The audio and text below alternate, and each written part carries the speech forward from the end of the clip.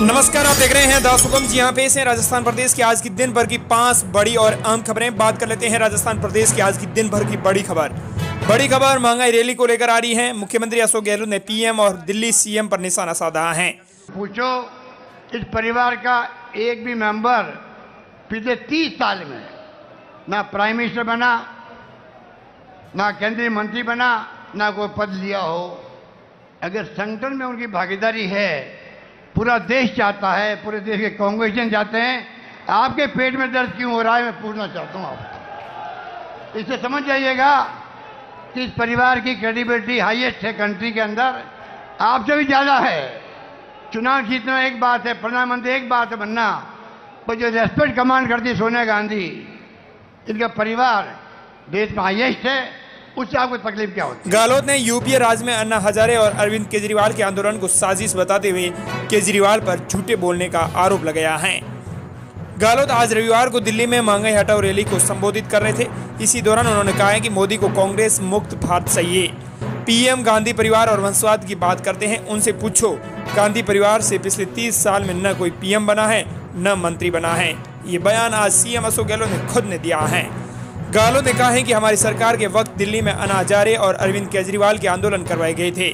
केजरीवाल आज जो राजनीति कर रहे हैं, वो भी झूठ बोलने की हदें पार कर रहे हैं। किस प्रकार देशवासियों को गुमराह कर रहे हैं, वो पूरा देश देख रहा है। उस वक्त वो आंदोलन हमारी सरकार के खिलाफ षड्यंत्र था। यूपीए सरकार में शानदार काम हो रहा था। एक माहौल ऐसा बना दिया था देश में कि 2G कोलगेट, घोटाले के आरोप लगाए गए। एक लाख छिहत्तर हज़ार करोड़ के 2G घोटाले का आरोप लगाया गया। उस समय के सीएजी कहाँ चले गए? अब वो सब गायब हो गए हैं। षड्यंत्र करके सरकार को बदनाम करने का प्रयास किया गया है। सीएम ने पीएम पर निशाना साधते हुए कहा है कि मोदी को कांग्रेस मुक्त भारत चाहिए। पीएम गांधी परिवार और वंशवाद की बात करते हैं। वहीं राजस्थान प्रदेश की अगली बड़ी खबर, राजस्थान मौसम अलर्ट को लेकर है। राजस्थान के तेरह जिलों में भारी बारिश का अलर्ट। बिजली गिरने की आशंका चित्तौड़गढ़, उदयपुर में बारिश, तापमान में गिरावट। राजस्थान में तेज बारिश का दौर फिर से शुरू होने वाला है। मौसम विभाग ने छह से लेकर नौ सितंबर तक तेरह जिलों में गरज चमक के साथ बारिश होने की संभावना जताई है। इधर आज राजस्थान के पाँच जिलों में बूंदाबांदी होने के आसार भी जताए हैं। मौसम विभाग ने बताया है कि छह सितंबर को बारह, बूंदी, कोटा, झालावाड़ में बारिश के साथ साथ बिजली गिरने की आशंका है। वहीं सात सितंबर को बारह, भीलवाड़ा, बूंदी, चित्तौड़गढ़, झालावाड़, कोटा, प्रतापगढ़ में गरज चमक के साथ अच्छी बारिश होने के आसार हैं।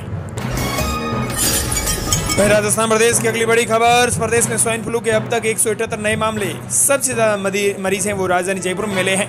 प्रदेश में स्वाइन फ्लू से संक्रमित मरीजों का आंकड़ा लगातार बढ़ता जा रहा है।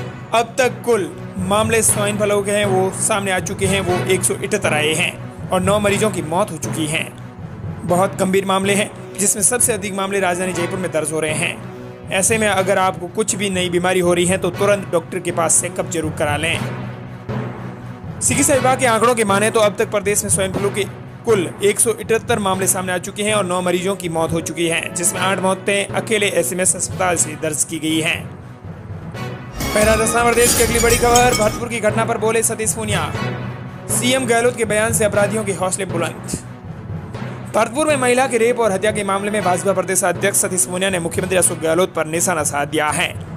पूनिया ने कहा है कि एनसीआरबी के आंकड़ों को लेकर हाल ही में सीएम की ओर से दिए गए बयान से अपराधियों के हौसले बड़े हैं, न कि घटे हैं।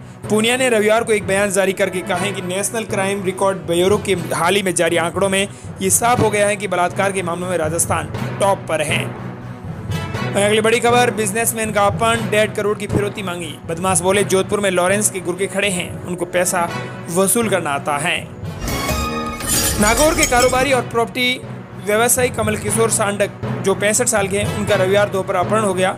बदमाश कारोबारी को ड्रॉयर समेत उसी की कार में ले गए। करीब डेढ़ घंटे बाद पुलिस के डर से पाँच किलोमीटर दूर रूप रजत चौराहे पर छोड़े गए। गाड़ी भी वहीं छोड़ गए। बदमाशों ने व्यापारी से डेढ़ करोड़ की फिरौती है वो मांगी थी। लॉरेंस गैंग के गुर्गों के हवाले करने की धमकी भी दी। मामला खींवसर के प्रेम नगर इलाके का है।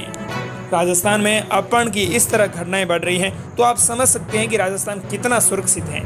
आम आदमी कितना सुरक्षित है? आप समझ सकते हैं, आप एक अंदाज़ा लगा सकते हैं कि राजस्थान में कैसी कैसी घटनाएँ देखने को मिल रही हैं। कलयुग की ये घटनाएँ आपको कितना परेशान करती हैं, आप भी बता सकते हैं। और आप इसे अच्छी तरह से वाकिफ भी हैं कि राजस्थान में मुख्यमंत्री अशोक गहलोत ने खुद ने एक बयान दिया था कि महिलाओं के जो अधिकतर मामले हैं, वो केस झूठे हैं।